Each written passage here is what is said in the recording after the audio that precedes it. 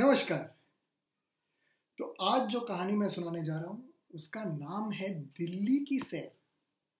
और इसे लिखा है लेखक रशीद जहाँ ने, करीब नब्बे साल पहले।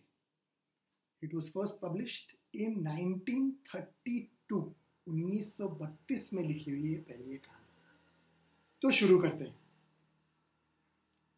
अच्छी बहन, हमें भी तो आने दो।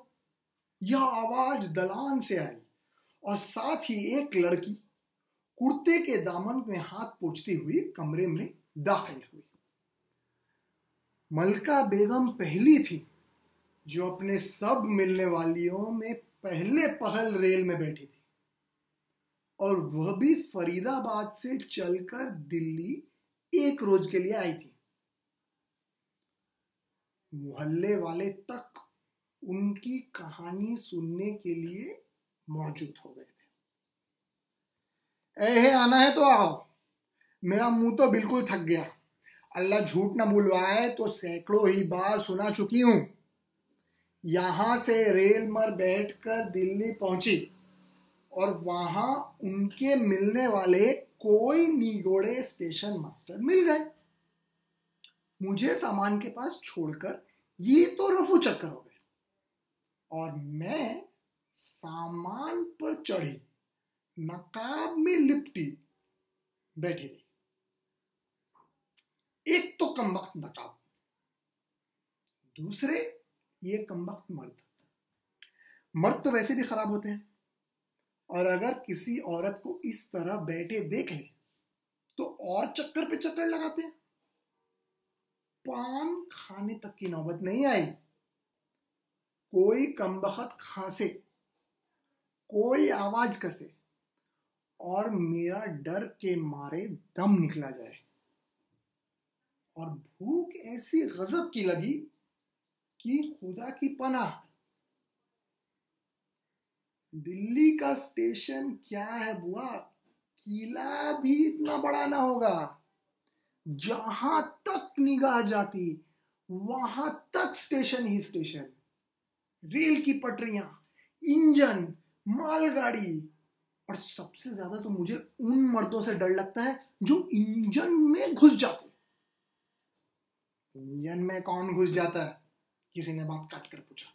कौन घुस जाता? मालूम नहीं हुआ कौन। नीले नीले कपड़े पहने, कोई दाढ़ी वाला, कोई सफ़ा चट, एक हाथ से पकड़कर चलते इंजन में लटक जाते हैं। देखने वाले की तो दिल सन सन करने लगता है। और साहब और मेम साहब वह दिल्ली स्टेशन पर इतने होते हैं कि गिन नहीं सकोगी। हाथ में हाथ डाले गिट पिट करते चले जाते हैं। और हमारे हिंदुस्तान भाई, आँखें फाड़ फाड़ कर टकते हैं। कम की आँखें नहीं फूट जाती। एक मेरे से कहने लगा जरा मुँह भी दिखा दो। मैंने तुरंत तुमने क्या मुँह दिखाया? किसी ने छेड़ा? अल्लाह अल्लाह करो बुआ, तेवर बदल कर सुनना है तो बीच में न टोको। एकदम खामोशी छा गई। ऐसे मज़ेदार बातें फरीदाबाद में कम होती थी। और मलका की बातें सुनने तो औरतें दूर दूर से आती थी। हाँ बुआ, सौदे वाले ऐसे नहीं जैसे हमारे यहाँ आते हैं। सॉफ सॉफ खाकी पहने, सफ़ेद, टोकरे लिए फिरते हैं पान, बीड़ी, सिगरेट, दही बड़े, खिलौना ही खिलौना, मिठाइयाँ ही मिठाइयाँ, चलती हुई गाड़ी में बंद किए भागते फिरते हैं। इसी बीच एक गाड़ी आकर रुकी। और शोर गुल ऐसा हुआ कि कानों के पर्दे फटे गए। इधर कुलिया की चीख पुकार, उधर सौदे वाले कान खाए जा रहे हैं। और मुसाफिर मुसाफिर तो एक दूसरे पर पीले पड़ते हुए। और मैं, बेचारी बीच में सामान पर चढ़ी हुई। हज़ारों की तो ठोकरे धक्के खाए।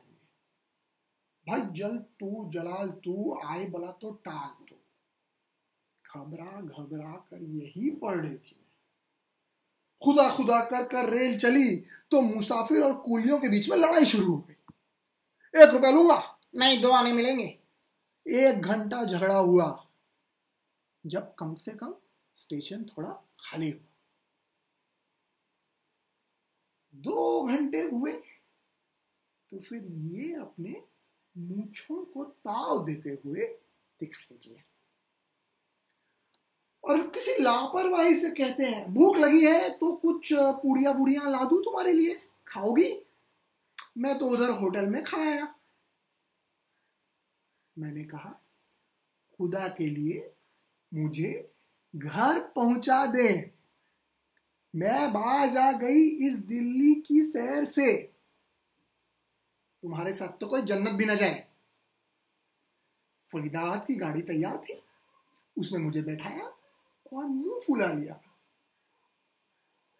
कहे, तुम्हारी मर्ज़ी। सैर नहीं करना है।